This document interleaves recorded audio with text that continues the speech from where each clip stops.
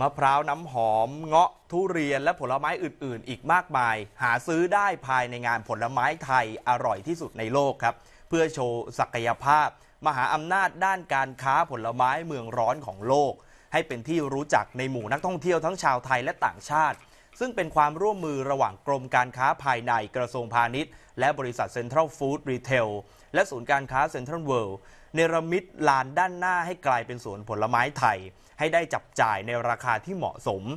ภายในงานนะครับได้แบ่งออกเป็นโซนต่างๆ อาทิโซนเฉลิมพระเกียรติ โดยประดับตกแต่งดอกไม้และผลไม้นานาชนิด เป็นแลนด์มาร์กอันสวยงามให้ประชาชน ได้น้อมรำลึกถึงพระมหากรุณาธิคุณของพระบาทสมเด็จ พระวชิรเกล้าเจ้าอยู่หัว โซนสวนผลไม้ใหญ่ใจกลางเมืองโดยนำผลไม้ไทยนานาพันธุ์ครับมาจำลองในบรรยากาศสวนผลไม้ นอกจากนั้นยังมีโซน Farmers Market เป็นพื้นที่ที่จำหน่ายผลไม้จากกลุ่มเกษตรกร วิสาหกิจชุมชน ผู้ประกอบการสินค้าจากทุกภูมิภาคทั่วประเทศ นอกจากนี้ยังมีโซนบุฟเฟ่ด้วยนะครับ ทั้งทุเรียนหมอนทอง มังคุด เงาะโรงเรียน แตงโมมะพร้าว ไอติมกะทิข้าวเหนียวทุเรียนและข้าวเหนียวมะม่วง โดยจะเปิด 5 รอบต่อวันครับ ในราคาเพียงหัวละ 429 บาท งานนี้จะมีไปจนถึงวันที่ 26 พฤษภาคมนี้ครับ ที่ลานด้านหน้า ศูนย์การค้าเซ็นทรัลเวิลด์ด้านนางสาวชุติมาบุญยประพัฒน์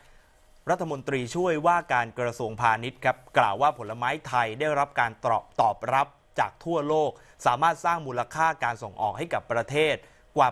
85,000 ล้านบาท โดยเฉพาะทุเรียนและมังคุด โดยรัฐบาลภายใต้การนำของพลเอกประยุทธ์จันโอชา